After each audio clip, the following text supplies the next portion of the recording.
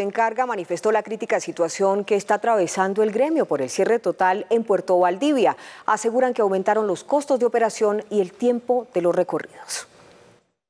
Desde hace una semana, un talud de tierra tiene cerrada totalmente la vía Medellín-Costa Atlántica a la altura de Valdivia. Según Defencarga, aún no hay una fecha de reapertura de este corredor vial, lo que ha generado un aumento del 30% en la operación. Lo cual eh, ocasiona que debamos desplazarnos hacia esa región del país, ya sea por la zona de Urabá o por la ruta del Sol Magdalena Medio.